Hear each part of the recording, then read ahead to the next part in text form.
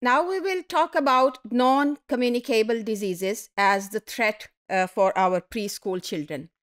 So the rapid rise in childhood obesity as one of the most serious public health challenges of the 21st century, with the number of children and adolescents affected by obesity increasing more than 10 times from 11 millions in 1975 to 124 million in 2016. अभी ये दो दो हज़ार सोलह की research है कि जो ऐसे बहुत से इलाके जैसे हमने अर्ज़ किया कि कुछ डेवलप्ड कंट्रीज़ के और कुछ जो इलीट क्लास बच्चे हैं दूसरे मुल्कों के, उनमें ओबेसिटी के प्रॉब्लम्स आ रहे हैं। अब ओबेसिटी का प्रॉब्लम जो है, वो बिला वजह नहीं बना। उसकी वजह जो लाइफ स्टाइल्स हैं, उसमें चेंज हैं, जो फ़ूड हैबिट्स हैं, उसमें चेंज हैं। अब देखिए, पहले ऐसी बहुत सी चीज़ें जो ज़्यादातर चिकनाई से रिलेटेड हैं या जंक फ़ूड है, वो पहले इस्तेमाल नहीं हुआ करते थे। घरों के सादा खाने होते थे या जहाँ भी है घरों में पकते थे। लेकिन अब चूँकि बहुत ज़्यादा बाहर से खाना खाया जाता है तो वो बच्चों के अंदर मोटापे को रुझान दे रहा है। और मोटापा तो कोई अकेली बीमारी है नहीं। जैसे ही मोटापा आएगा, इसके साथ ही ब्लड प्रेशर भी आपका बढ़ता है और इसके अलावा आपकी जो हार्ट बीट्स हैं, उनके ऊपर भी प्रॉब्लम होते हैं। और बहुत सी बीमारियों की जो आमाजगा है, वो मोटापा है।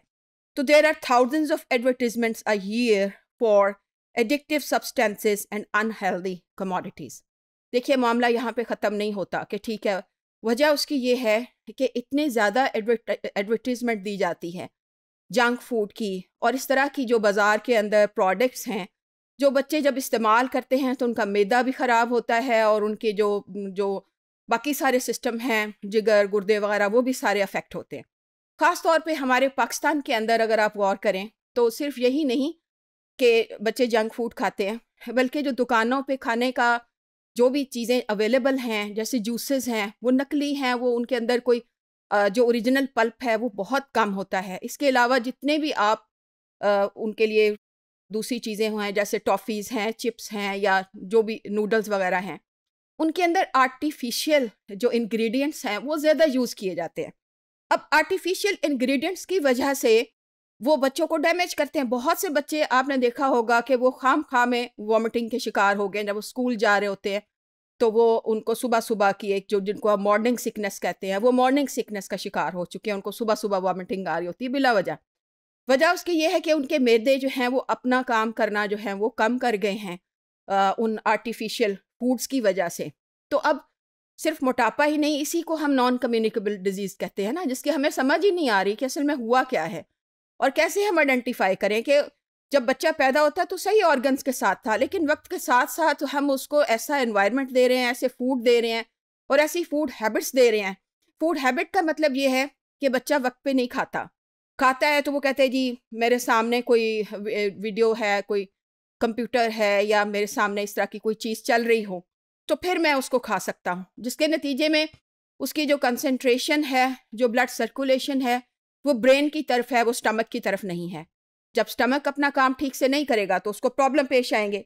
अब ये हो सब क्यों रहा है? इसलिए कि मार्केटिंग जो है, लोगों को इस बात की फ़िक्र नहीं है कि आने वाली जनरेशन के साथ क्या प्रॉब्लम्स हो रहे हैं।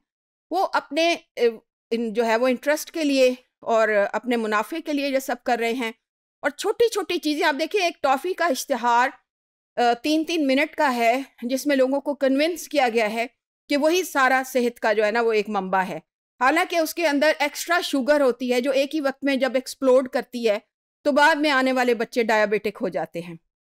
तो अब देखिए, वो बताते हैं कि the marketing and inappropriate use of breast milk substitutes which is called formula milk is U S seventy billion industry that is associated with lowered intelligence obesity, increased risk of diabetes, and other non communicable diseases.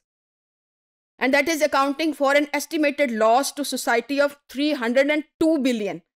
आप देखिए कि mother जो feed थी उसकी जगह जो formula milk है उसका इश्तहार इतना दे दिया और उसको बता दिया कि पता नहीं इसमें क्या ही चीज़ें हैं लोग ने इसको सब्सिट्यूट कर लिया उसकी कीमत बढ़ गई। एक तो बच्चे के ऊपर लगने वाला खर्चा बढ़ा है तो बाकी रिसोर्सेज उसके उसके लिए कम हो गए।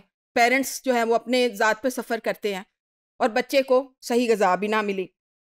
फिर उसी से ये सारी बीमारियाँ जो उनको डायबिटीज़ हो सकती है या उनकी इंटेलिजेंस तक इससे मुतासर हो सकती है तो इसके बारे में इंडस्ट्री तो नहीं सोचती, क्योंकि उनको तो मुनाफा कमाना है।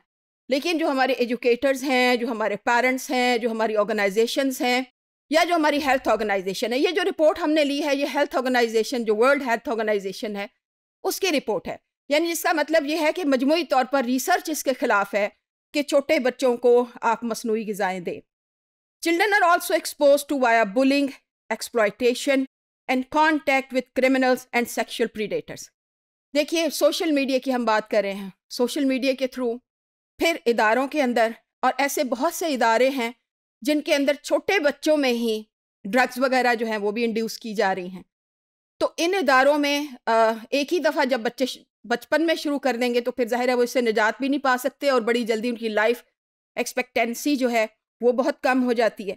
तो ये भी एनवायरमेंटल प्रॉब्लम है कि आपके एनवायरनमेंट में जो ऐसी टॉक्सिक चीज़ें हैं, आपके लिए नुकसानदेह उनका आपके लिए जो एक्सेस है वो बढ़ जाए। या बल्कि ऐसी जगह मजबूर किया जाता है लोगों को, बच्चों को, कि वो इस पर लग जाएँ और उसके बाद फिर ज़ाहिर है उनकी ज़िंदगी की एक्सपेक्टेंसी तो वो नहीं रहती। तो ये सारे मसाइल जो हैं, ये पूरी दुनिया के अंदर हल तलब है।